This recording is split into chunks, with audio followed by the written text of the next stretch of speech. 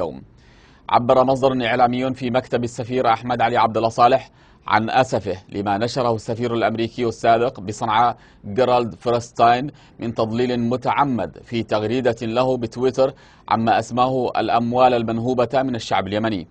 واستغرب المصدر انجرار فرستاين في تصريحه الذي ربما كان تحت وطأة معلومات مضللة أو إغراءات مع تلك الحملة الكيدية الممنهجة والافتراءات الباطلة التي سبق أن روجت لها بعض العناصر الموتورة والحاقدة على شخص الشهيد الزعيم علي عبد الله صالح للنيل منه ونظامه والمؤتمر الشعبي العام منذ عام 2011 وحتى الآن وثبت بطلانها من خلال التقارير المتناقضة الساطرة عن لجنة العقوبات الدولية.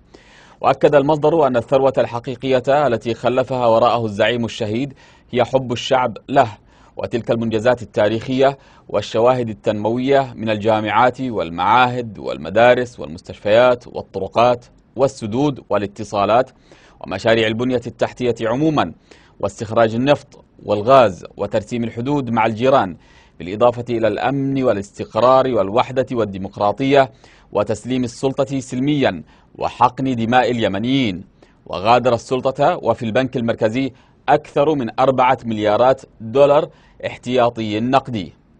وجدد المصدر مطالبته الأمم المتحدة برفع العقوبات الظالمة عن السفير أحمد علي عبد الله صالح التي لا مبرر منطقيا لوجودها واستمرارها لأنها استندت على الكيد السياسي والدس والافتراءات الباطلة التي ليس لها أي أساس من الصحة.